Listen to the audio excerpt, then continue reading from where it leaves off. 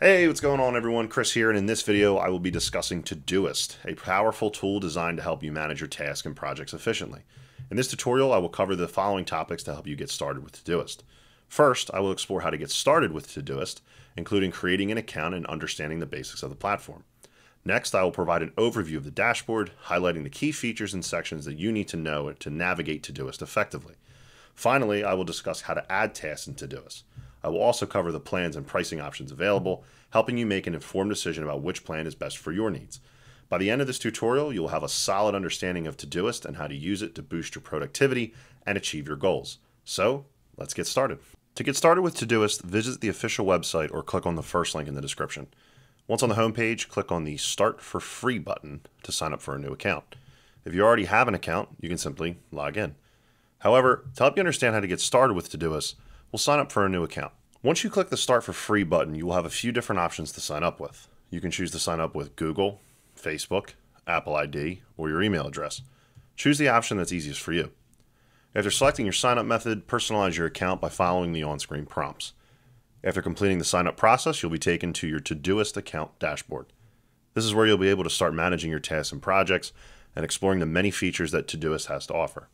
The Todoist dashboard has a clean, minimalist design that prioritizes productivity. The main interface is divided into two primary sections the left sidebar and the main content area.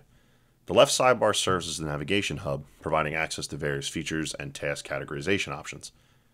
The top of the left sidebar features your user profile, which can be managed by clicking on the profile icon. Next to the profile icon, a drop down menu offers additional options, including settings management, team edition, activity log, management, and a lot more. This menu provides quick access to essential account settings and features. Below the Profile section, the Add Task button enables quick task entry. This button allows you to swiftly add tasks as they come to mind, making it easy to capture ideas and reminders. The search bar is located below the Add Task button, allowing you to find specific tasks and manage across your account. This feature is particularly useful when dealing with numerous tasks and projects, as it enables you to quickly locate specific items. The Inbox section appears below the search bar, displaying the number of tasks pending review.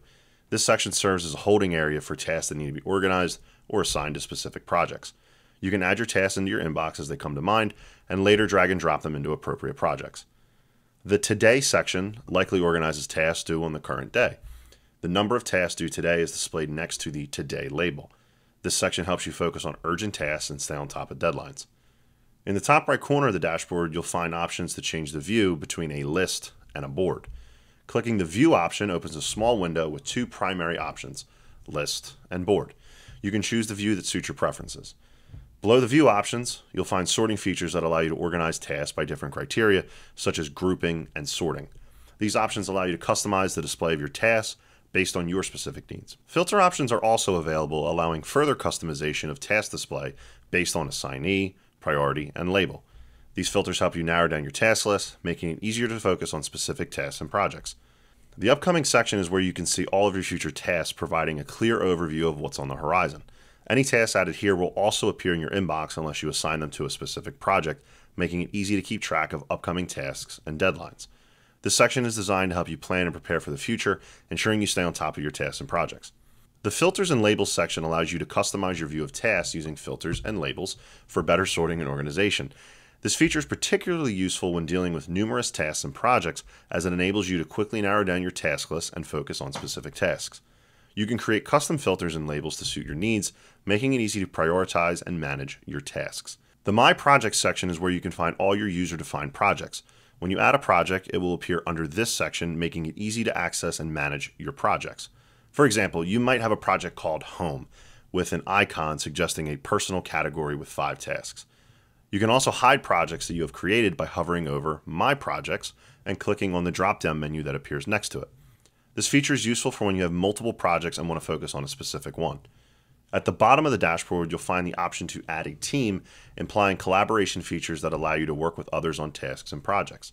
This feature is perfect for team projects or shared responsibilities making it easy to assign tasks and track progress.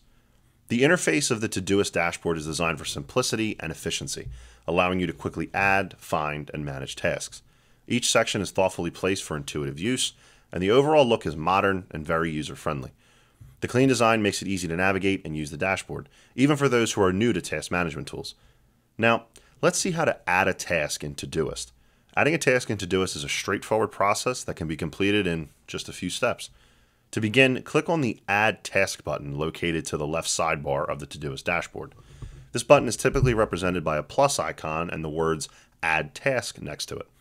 Once you click on the Add Task button, a small window will appear in the main area of the interface. In this window, you can enter all the details of your task. Start by typing the name of the task into the task name field at the top of the window.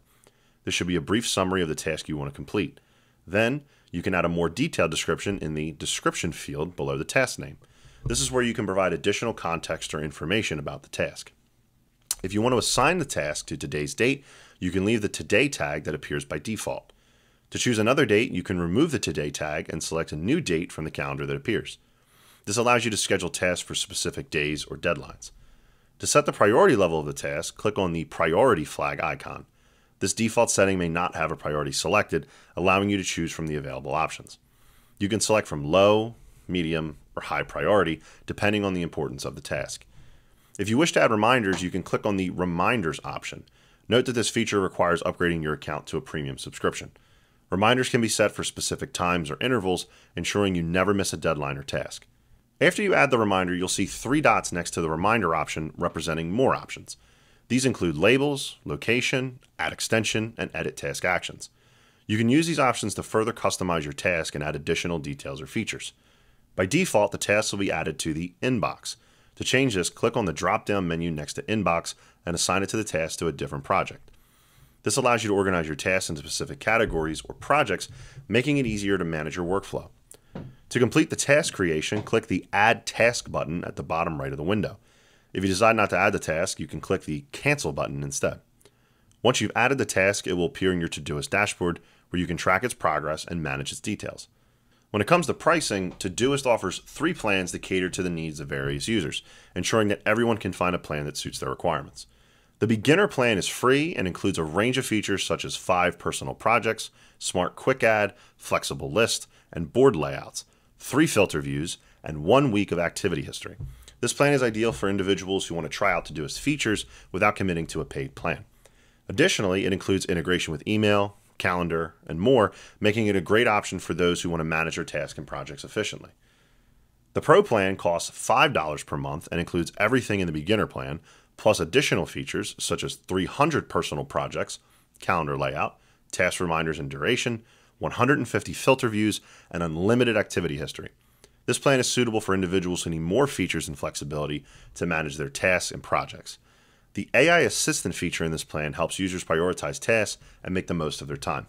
The business plan costs $8 per member per month and includes everything in the Pro plan, plus additional features such as a shared team workspace, up to 500 team projects, calendar layout for team projects, 1,000 team members and guests, 1,000 project folders, team roles and permissions, and centralized team billing. This plan is designed for teams and businesses that need to collaborate and manage multiple projects simultaneously. The features in this plan ensure that teams can work efficiently and effectively with clear roles and permissions to ensure accountability. That's it for this video. I hope you found it helpful in learning how to use Todoist. To get started, you can find the link in the video description. If you found this content helpful, please give it a thumbs up to show your appreciation. And if you have any questions or need further assistance, please don't hesitate to comment below. I will always do my best to respond to all comments and provide helpful answers. Thank you for watching and take care.